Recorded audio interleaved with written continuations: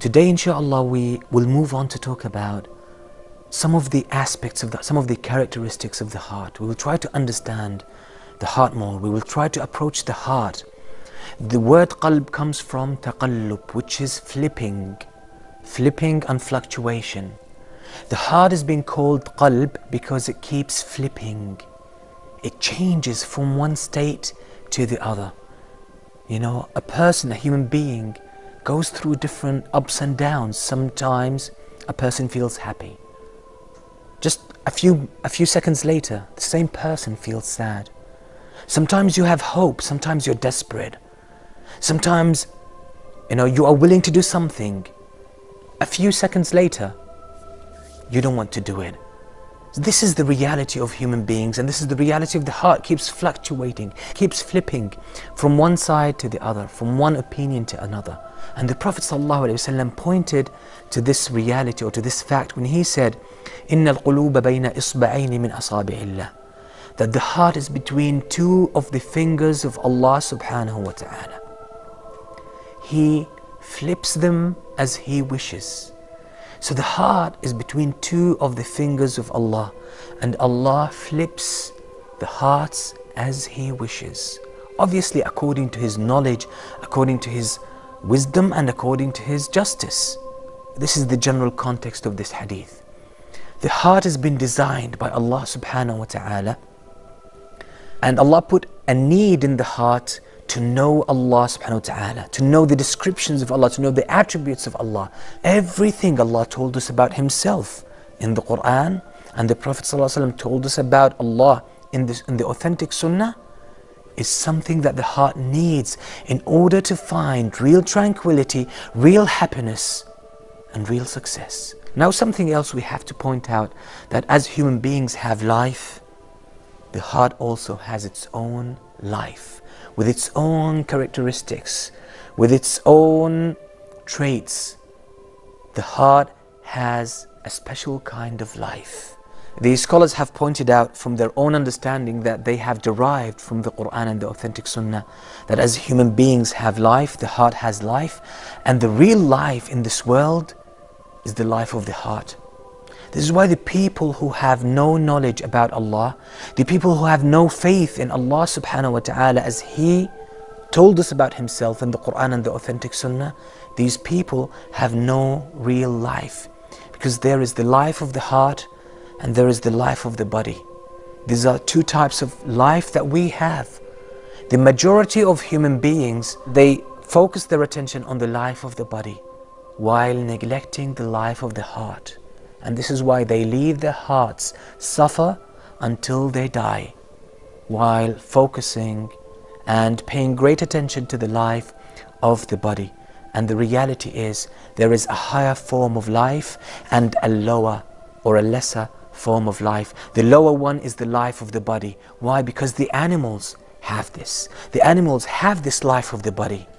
And they live throughout their lives only with this lesser or this lower quality of life, but, but there is the spiritual type of life. There is the higher life, which is the life of the heart, which animals have no clue about. And unfortunately, I can say that a great deal among human beings have no clue about the life of the heart.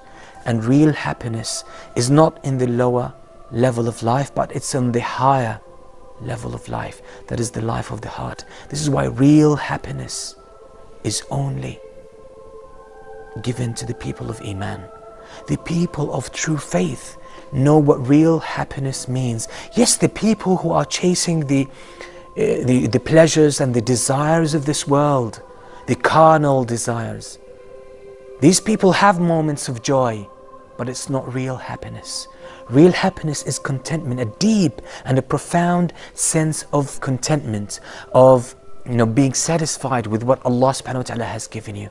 This real and profound sense of contentment is real happiness and it can be only given to the people of Iman, the people of faith, the hearts that are full with knowledge of Allah subhanahu wa ta'ala and the hearts that are content with what Allah has given them. But the people who are after their desires, they have moments of joy, but it's not real happiness. And as the heart has life, every living thing, as long as it is described as having life, it must suffer from something called diseases and illnesses. Human beings suffer from diseases. Why? Because they are alive. Animals suffer from diseases. Why? Because they are alive. Plants suffer from diseases. Why? Because they are a living creature. So every living creature, as long as it has life, it has to suffer from something called diseases. The hearts, they have the quality of life, they also have the quality of being prone to diseases, to illnesses. And this is something very important because many people's hearts are so diseased, have been suffering from illnesses until they reached the point where they are dead. Their life has been taken away from them. And when the spiritual heart is diseased, when the spiritual heart is problematic, then one's relationship with Allah Azza wa Jal as well is problematic. And realize that when it comes to the spiritual heart, it is far more important than the physical heart. Our Prophet ﷺ said, إِنَّ اللَّهَ تَعَالَى لَا يَنظُرُ إِلَى صُوَرِكُمْ وَلَا إِلَى أَجْسَامِكُمْ وَلَكِنْ يَنظُرُ إِلَى أَعْمَالِكُمْ وَإِلَى قُلُوبِكُمْ That know that Allah does not look at your shapes nor at your bodies, but rather Allah looks at your deeds and at your hearts. إِلَى أَعْمَالِكُمْ وَإِلَى قُلُوبِكُمْ what is important to Allah is not the physical shape. People are different shapes and is by and large beyond our control how and what color and what Allah created us. Notice, by the way, that most of us, in fact, maybe all of us, we spend hours worrying about the outer state. How do I look? Do I look good in this? How is my hair? Is it combed? And yet, very few of us think about the internal state. And people judge us by external states. But Allah subhanahu wa ta'ala judges us by our internal state. People look at your outer shape and body. People look at how are you dressed, how are you physically fit, how this, how that. But Allah Azza wa Jal does not care about your outer bodies. Allah cares about your deeds and about your qulub, about your hearts. This is why the scholars have classified the hearts into three types or three categories. They are all mentioned in the Quran. The first type of hearts is Al-Qalbu Salim, the sound and intact heart. This heart lives a life of tranquility, a life of peace and happiness. It's in, it has the highest forms or the highest level of real life. Allah subhanahu wa ta'ala says that on the day of judgment, nothing will be of benefit except for a sound heart. يوم لا ينفع مال ولا بنون إلا من أتى الله بقلب سليم The only thing that will benefit human beings is a sound heart. So those who come to Allah subhanahu wa ta'ala on the day of judgment with a cultivated heart, those people will be admitted to paradise. So this is the first type of a heart. It's called al-qalb salim There are two illnesses, two diseases that affect the heart. The first one is ash-shahawat, the desires the lusts, the desire. That's the first type of disease. The second type is ash-shubuhat, the doubts or the misconceptions. These are the two types of ailments that affect the heart. If we understand these and know how to fight these diseases, we will be able to take good care of our hearts. The heart of the believer, the Quran describes it as soft. The Quran describes it as soft. Allah tells us in the Quran that the believers, their hearts, when Allah is mentioned, it trembles.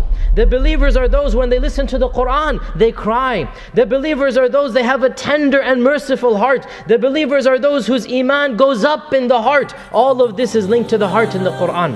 So the hearts of the believers are gentle. The hearts of the believers are soft. And the opposite of this is the hard heart, the qaswatul qalb. And Allah subhanahu wa ta'ala mentions qaswatul qalb in the Quran in a number of verses.